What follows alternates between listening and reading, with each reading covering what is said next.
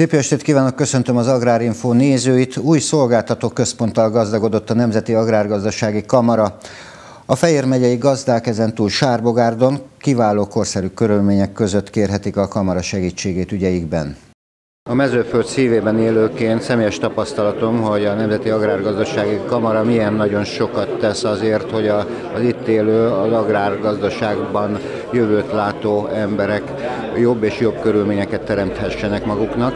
Most én azt gondolom, hogy egy ilyen szolgáltató központ átadása is nagyon sokat segít, és ahogy ön fogalmazott a falugazdász hálózatot megemlítve, rendkívül fontos, hogy egyre közelebb és közelebb kerüljenek a gazdálkodók a szakmai szervezethez. Most így november 3-a előtt, a választások előtt azt hiszem, hogy ez egy komoly lépcsőfok, amit megléptek, hiszen ha az elmúlt időszakot vizsgáljuk, akkor a Kamara a kormányjal közösen, az agrártárcával közösen olyan intézkedéseket hozott, amely jó mindannyiunknak. Mennyire fontos az, hogy a, a, a Kamara továbbra is ezen az úton járjon? Alapvetően mi egy szolgáltató típusú kamarában hiszünk, és azt gondolom, hogy itt a környékbeliek megtapasztalhatták már ezt eh, akár a nyáron is, itt nem messze innen mező falván tartottunk egy nagyon komoly uh, szántóföldi rendezvényt, ami a szántóföldi napok nevet uh, kapta. Itt egy 40 hektáron tudtunk azt gondolom világviszonylatban is nívós rendezvényt megvalósítani. Olyannyira jól sikerült, hogy ezt rendszeresen vissza szeretnénk majd hozni, de is minden évben a tagság rendelkezésre bocsájtani. Ugyanakkor vannak olyan nem szakmai elintézni valók is, amiket nem a szántóföldön kell megoldani, hanem valamilyen irodai környezetbe.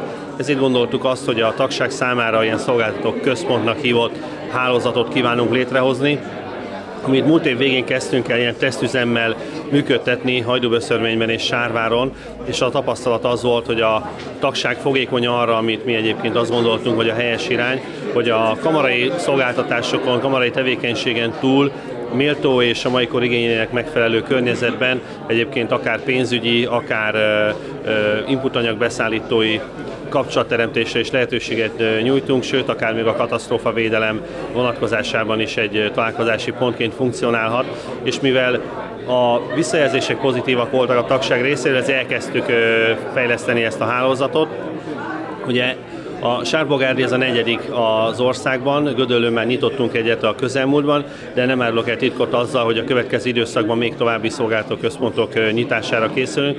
Alapvetően azt szeretnénk elérni, hogy bármelyik tanunk számára elérhető földrajzi értelemben elérhető közelségben legyen egy olyan szolgáltató központ, ahol egy helyen nagyon sok mindent el tud intézni. Azt gondolom, hogy az, hogy ilyen környezetet tudunk kínálni, ezzel egyrészt megbecsüljük a saját munkavállalóinkat, másik oldalról pedig a tagságnak is nyújtunk, üzenünk valamit, hogy ők a társadalomnak egy nagyon fontos részét képezik, és nagyon komoly értéket állítanak elő, viszont nagyon komoly kihívásokkal is szembesülünk, amire válaszolnunk kell. Ugye egyrészt a termésbiztonság az, ami alapvetően meghatározza majd a magyar mezőgazdaság teljesítőképességét a következő időszakban, és itt a termésbiztonság szempontjából kettő dolgot ki szeretnék emelni. Az egyik a víz gazdálkodás, az öntözésnek a kérdése, a másik pedig a természeti viszonyokhoz való alkalmazkodás. Itt terveink szerint május 1-én majd indítani fogunk egy jégkármérséklő rendszert, ami azért gondolunk jelentősnek, mert Európában mi leszünk az első olyan ország, hogyha minden a terveink szerint halad, amely az ország teljes területét tudja védeni az ilyen típusú kárral szemben. Azon túl már ez az egy szolgáltatásunk, az éves kamarai tagdíjbevételnek a 10 tízszeresét, azaz minden évben 50 milliárd forint termelési értéket tud megóvni a magyar vidék számára, ami egy nagyon komoly előrelépés a termésbiztonság vonatkozásában, az pedig egy egy kis kellemes adalék, hogy ezzel nyilván nem csak a mezőgazdasági területeket tudjuk védeni, hanem a nem mezőgazdasággal foglalkozó embereknek az ingóságait és ingatlanjait, akár a személygépkocsit, akár a lakóházát, tehát abban bízunk, hogy ez egy széles társadalmi elégedettséget kiváltó ö, kezdeményezés lesz, és hát továbbiakban pedig ugye a szolgáltatásokat szeretnénk a középpontba helyezni, hisz ö, erről is többek között véleményt mondanak majd november 3-án a kamarai választások alkalmával a, a tagok, hisz a szolgáltatások kell, hogy az alapját képezzék annak a köztestületnek, amit mi megálmodtunk. Nagyon sok olyan feladatot látunk el most is, ami érdemleges. A keresztül az elmúlt néhány évben minden 1000 milliárd forint támogatás lehívás kialakításában segítkeztünk. Egy nagyon komoly előrelépést tudtunk tenni az őstermelő igazolványok vonatkozásában. Érdemben nehezítettük az állőstermelőknek a piacra jutását. 30 ezer 30 ezerre kevesebb igazolványt adtunk idén, mint tavaly. Ez egyértelműen annak tudható be, hogy a fehérítés irányába tettünk lépéseket, nagyon sok esetben jogi lépésekről is van szó. Tápanyagazdálkodási tervet készítünk, és még nagyon hosszasan sorolhatnám azokat a szolgáltásokat, amiket reményeink szerint minél többen fognak igénybe venni. Többek között ezen szolgáltatásoknak is épült ez a szolgáltatóközpont, ugyanis ö, szeretnénk ezeket a meggyőződésünk szerint minőségükben és tartalmukban nagyon aktuális és jó szolgáltásokat a tagságnak nyújtani, akik, és reméljük, hogy igénybe is veszik őket, ebben úgy tudjuk őket motiválni, hogy a szolgáltások díját, amit fizet a kamarának, a tag, annak a díjnak egy bizonyos részét mi a tagdíjból levonjuk az ő egyenlegében, ezért adott esetben, ha valaki kellően sok szolgáltást vesz velük igénybe, akár nulla forint is lehet a tagdíja. Nyilván ebben nekünk felelősségünk is van, hisz olyan szolgáltásokat kell kínálnunk, amit a tagok örömmel vesznek igénybe. Azt hiszem, hogy nagyon-nagyon fontos Fejér megyében mindenképpen, hiszen a Szántóföldtől az asztalig szlogent ismerjük. Fejér megyében elterjedt az a székely mondás, ugye a helyi teszem, helyitől veszem, mert helyén az eszem. Azt hiszem, hogy ez megvilágít, helyi teszem, helyitől veszem, mert helyén az eszem. Ugye Székelyföldön egy minden utcasarkon kint van, és ők így is cselekszenek. Mit tud tenni a kamara azért, hogy a helyi termelői piacok elnyerjék a méltó rangjukat, hogyan tudja átalakítani úgy a támogatási rendszert, hogy az őstermelői rendszerrel lesz karöltve jó legyen a fogyasztónak is.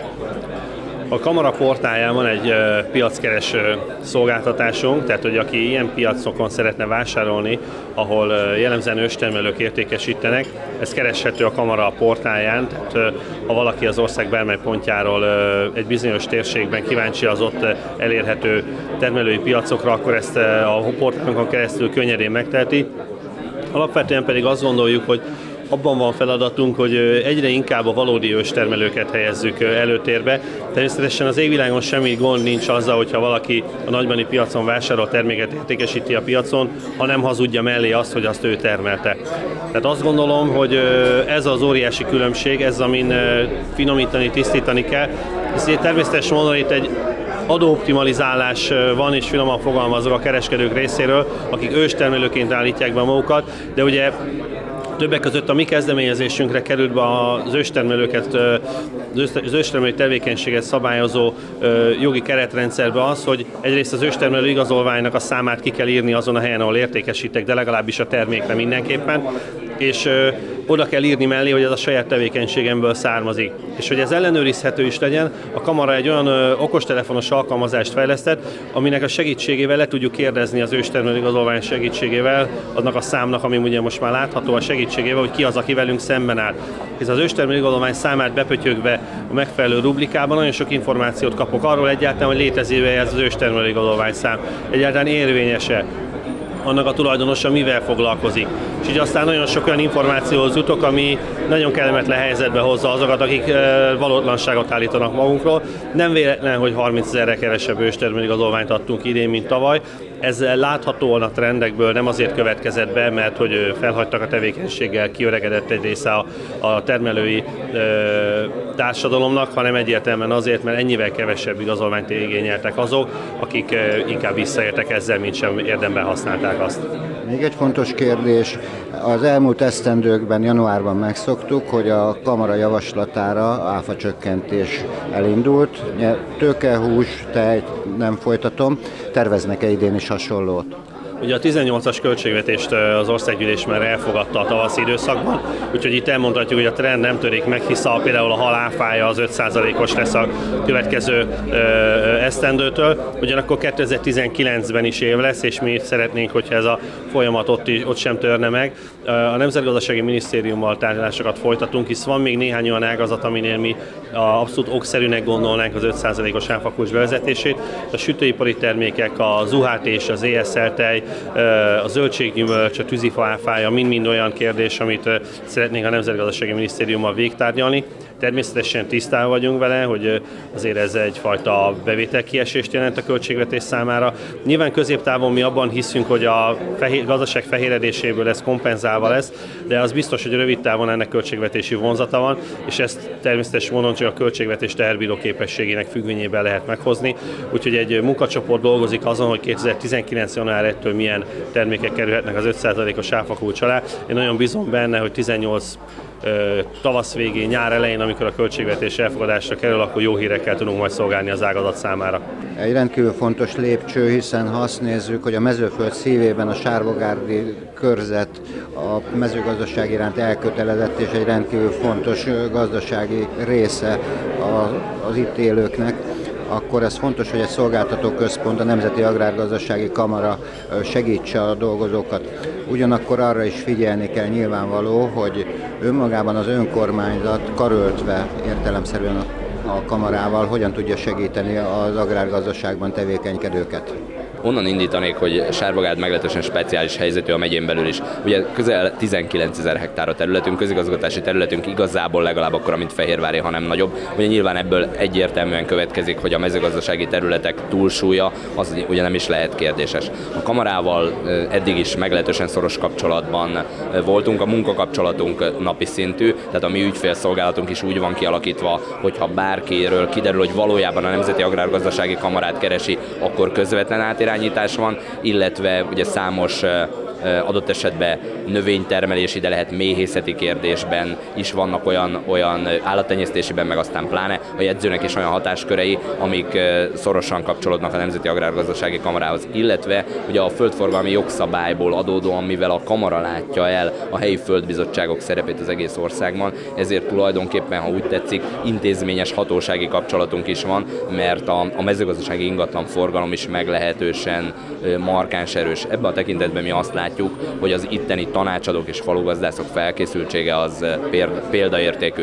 A országos elnök úr, amit kiemelt még, és amire, amire én is eh, utalnék, nagyon sokszor fordul elő különböző, különböző aspektusa a zöld kárnak nálunk is, ugye már csak a nagy területből adódóan is, és itt azt látjuk, hogy az önkormányzattól kell egy hatósági bizonyítvány, amit a kamarának kell áthozni, vagy a kamarától kell egy állásfoglalás, amit az önkormányzat tud felhasználni, akkor ezek minden, mindegyike, ha úgy tetszik, napon belül megvan. Ezt a jó kapcsolatot szeretnénk megőrizni, és ehhez nyilvánvalóan kell ez a szolgáltató központ is.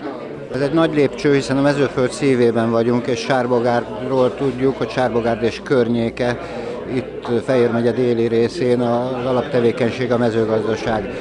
Egy ilyen szolgáltató központ mennyiben segíti, miként látja azt a munkát, amit a Nemzeti Agrárgazdasági Kamara, illetve az önkormányzat, illetve az agrártárca közösen elindított, hogy mindenképpen segítse a kis gazdálkodók napi munkáját is.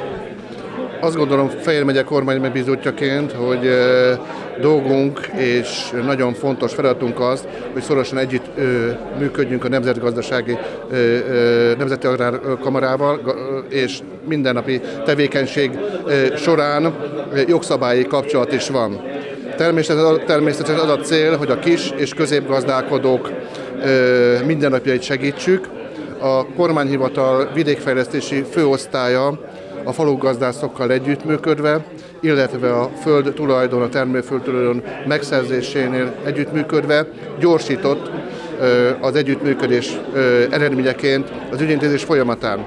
Azt gondolom, hogy még évekkel ezelőtt sok-sok hét vagy hónap telett, kellett ahhoz, hogy mondjuk egy, egy földforgalmi ügylet végbe menjen, és a tulajdonos hoz kerüljön.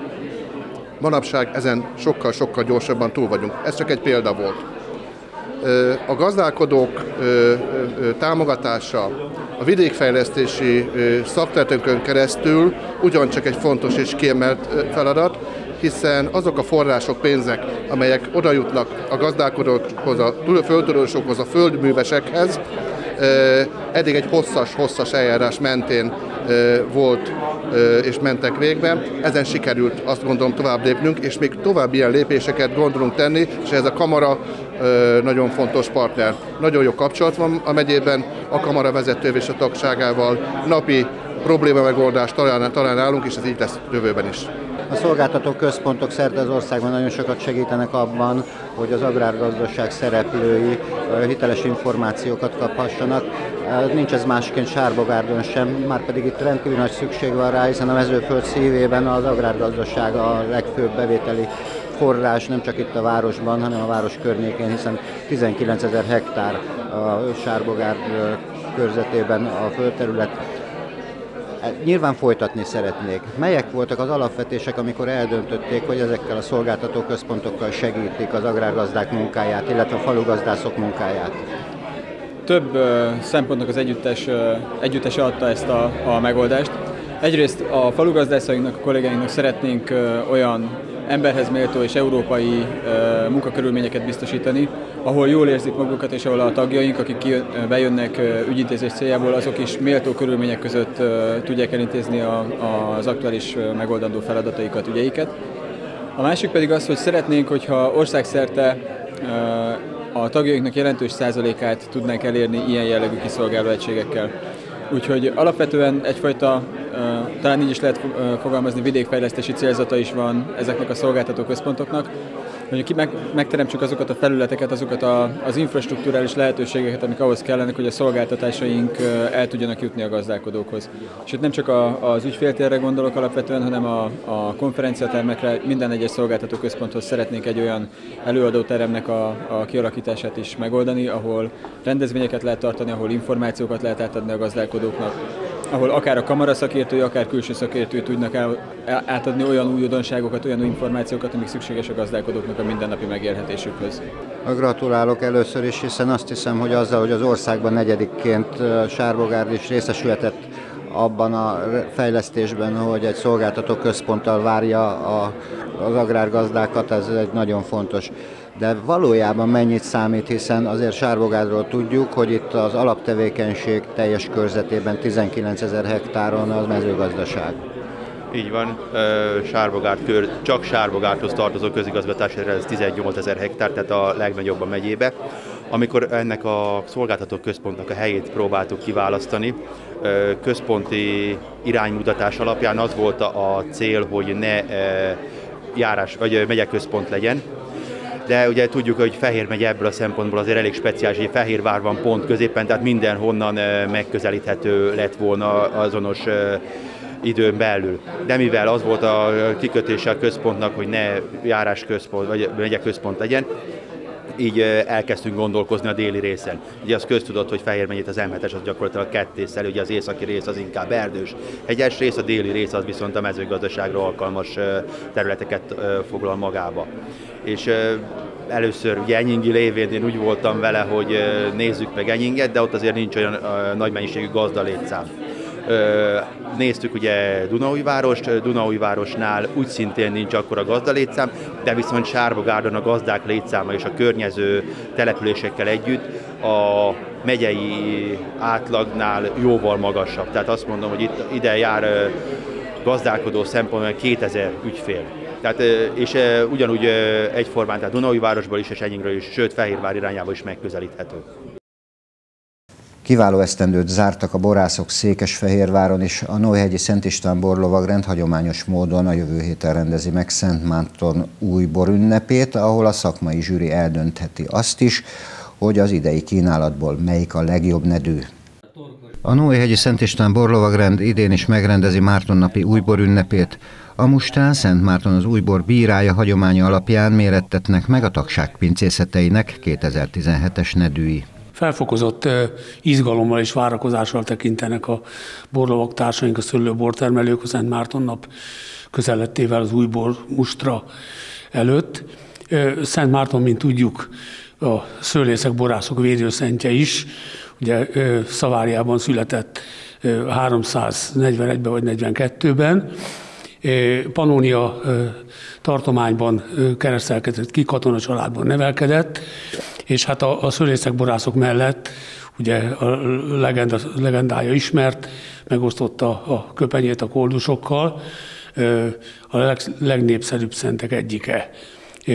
Nekünk azért is fontos, mert időjárás jósló szentként is számon tartják. Ilyenkor ez idő tájt az újborok letisztulnak, kóstolhatóvá válnak, ugye a szüreti kezdési időponttól kiindulva és a technológiától függően egész jó állapotban vannak már a borok.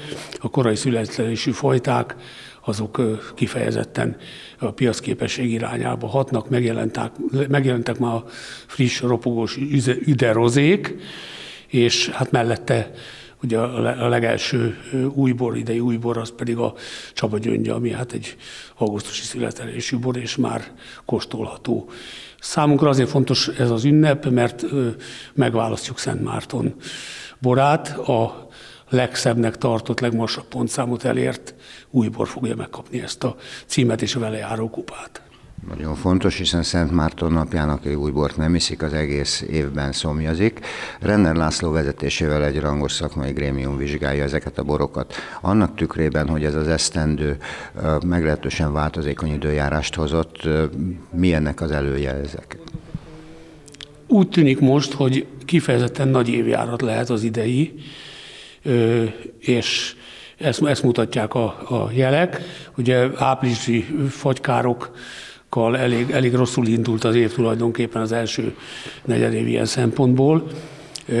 Aztán voltak ugye a jelentősebb hőségnapok nyáron, ez is megviselte a szőlőt, de országosan azt tudjuk mondani, és itt ez a mi, mi régiónkra is vonatkozik, hogy kifejezetten szépek lesznek a borok. Termésmennyiségben az országos átlag a két és fél millió hektoliter térrel, ami, ami egy jó, jó termésnek mondható, és hát 2010 év óta ez lesz talán a legszebb évjárat.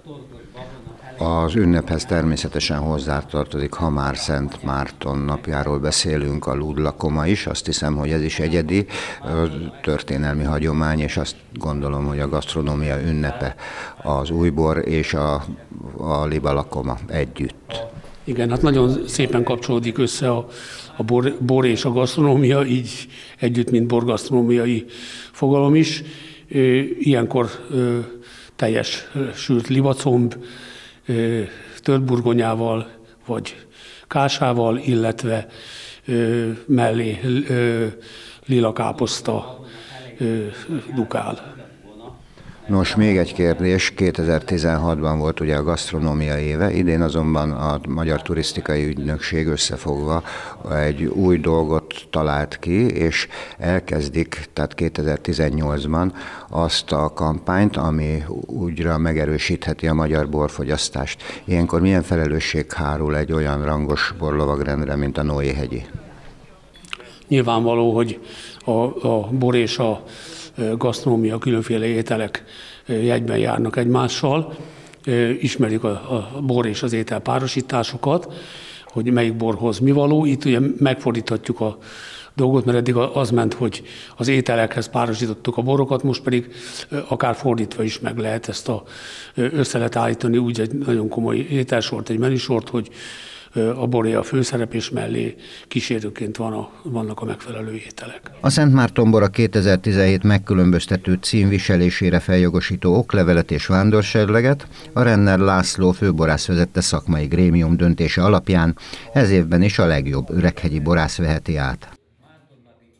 Kedves nézőink, köszönöm megtisztelő figyelmüket, minden jót kívánok viszontlátásra!